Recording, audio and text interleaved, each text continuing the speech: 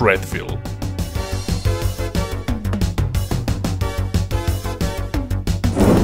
Barry Burton.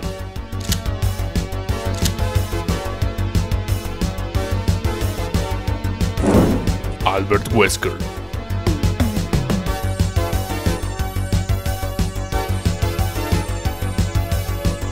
Ah, ¿a quién engañamos? Solo pudimos pagar un actor. Resident Evil.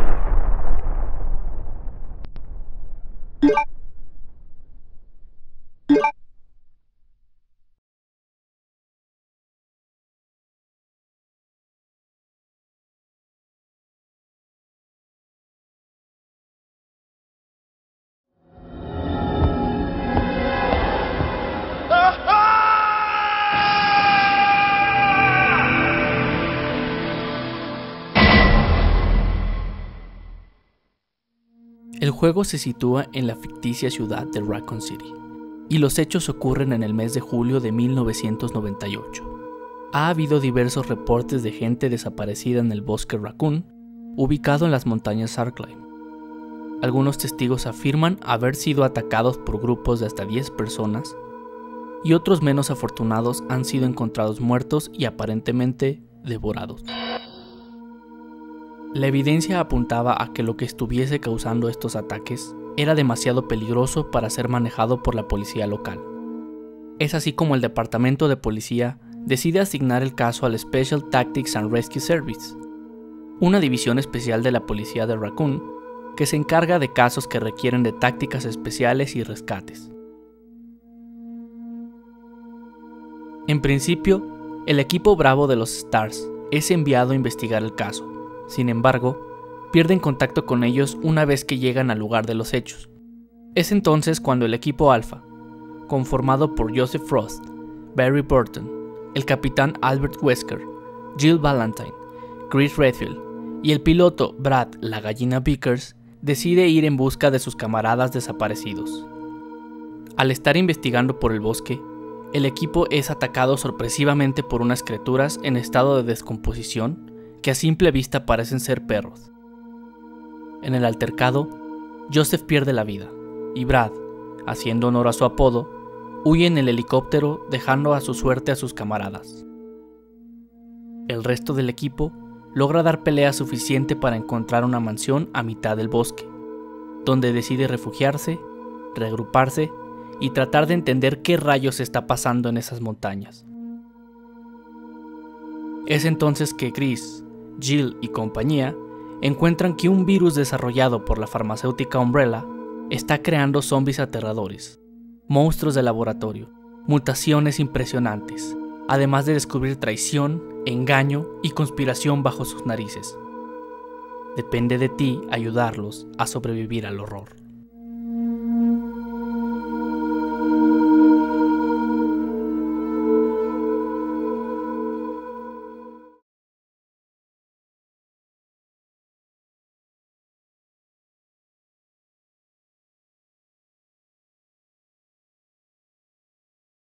I don't know what happened.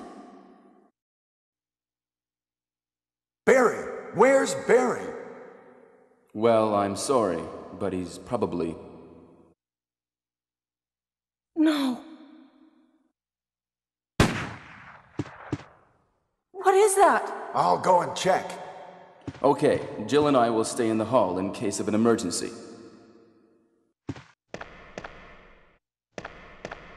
Chris? Take care.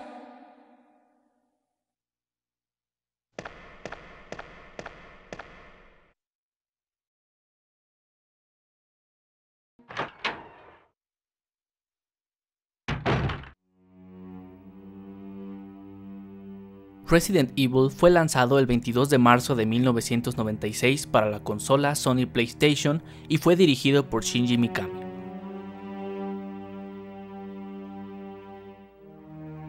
Las mecánicas del juego son simples. Podemos elegir entre dos personajes, Chris Redfield y Jill Valentine, contando cada uno con habilidades especiales únicas. Por ejemplo, Chris obtiene mucho menos munición, medicina y armamento. Se enfrenta al doble de enemigos, pero la ventaja que tiene es que tolera más daño. Jill, por otro lado, obtiene mucha más munición, medicina y armamento. Se enfrenta a la mitad de enemigos. Estos necesitan la mitad de daño para morir. Puede saltarse un par de secciones menores del juego y su única desventaja es que se necesita poco para herirla considerablemente. Podríamos decir que elegir a Jill es como elegir el modo normal y a Chris el modo hard. La manera en que se controlan los personajes es algo peculiar. La intención del juego es causar tensión en el jugador, por lo que se utiliza un control de movimiento que los fans han bautizado modo tanque. Esto quiere decir que el personaje solo puede girar en su propio eje para cambiar de dirección, y por lo tanto hace más difícil escapar de los enemigos o enfrentarse a ellos. Se suma a esto una navegación enfocada en puntos de vista, influenciada por el juego Alone in the Dark, que cambian dependiendo de la posición del personaje con respecto a la pantalla. Con esto, los desarrolladores querían lograr que el jugador sintiera miedo al no saber qué era lo que lo acechaba fuera de los límites de la pantalla o si realmente había algo acechándolo. El objetivo del juego es escapar con vida, ya sea solo o con el resto del equipo. Para lograrlo, debemos abrirnos paso a través de cuatro escenarios distintos, la mansión, el jardín, los túneles y el laboratorio. Desafortunadamente, cada uno de estos lugares contiene acertijos que nos impiden avanzar, por lo que será necesario interactuar con objetos en el escenario para resolverlos o, en otros casos, recolectar y analizar objetos como llaves especiales que nos ayuden a progresar. Algunos acertijos solo se podrán resolver obteniendo información de documentos que encontraremos en nuestro camino. La recolección de archivos es una parte importante del juego, ya que no solo nos ayudará a progresar, sino que además nos contarán la historia y dentro de la trama nos servirá como evidencia para resolver el caso. La variedad de peligros que encontraremos en esta aventura hará que no tengamos un solo momento de paz. Cuando llegamos al tercer acto, el juego nos llevará de hacernos sentir incómodos a hacernos descargar adrenalina constantemente. Es aquí cuando conoceremos las armas bioorgánicas que mencionamos anteriormente. Donde antes había zombies, ahora nos perseguirán unas ágiles y letales criaturas llamadas Hunters que casi siempre viajan en grupo y que son capaces de aniquilarnos de un solo golpe si nos encontramos débiles. También nos toparemos con un grupo de tiburones modificados genéticamente llamados Neptuno, que no lo pensarán dos veces para devorarnos si se nos ocurre tocar el agua. En nuestro camino, nos enfrentaremos con una planta gigante conocida como Planta 42, que no solo es venenosa, sino que es capaz de matar con sus vainas similares a tentáculos. Finalmente, el orgullo de la investigación de Umbrella, el arma bioorgánica definitiva, Tyrant. Un ser antropomórfico con unas garras del tamaño de espadas y una macabra y permanente sonrisa en su rostro. La batalla final no será nada fácil y deberemos luchar con toda la munición y medicina que tengamos a la mano, ya sea que fuimos lo suficientemente precavidos para asegurarlas o que lleguemos con los sobrantes de nuestra aventura. Al final, tomar el lanzacohetes y volar al Tyrant en pedazos será la mejor recompensa.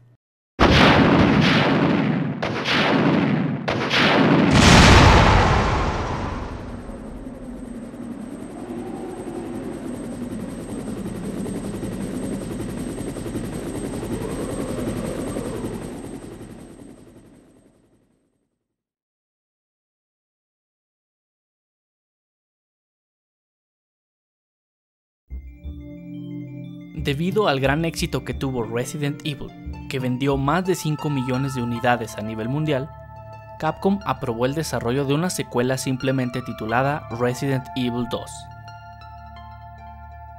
Esta vez, el gran Shinji Mikami cedería el puesto como director del proyecto a un joven recién llegado a la empresa llamado Hideki Kamiya, que hoy en día es conocido y aclamado por sus juegos como Devil May Cry, The Wonderful 101 y Bayonetta.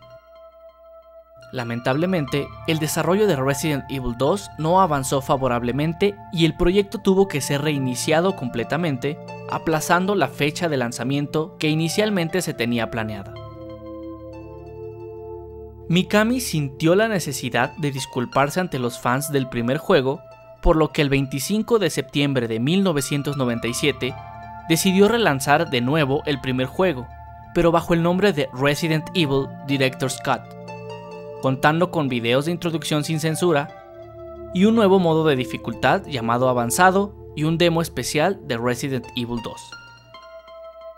El modo avanzado cambia los trajes de los personajes, la ubicación de los enemigos e ítems, la cantidad de enemigos y la posición de algunos puntos de vista de las cámaras. Todo esto además de incrementar la vida de los enemigos y el daño que estos provocan.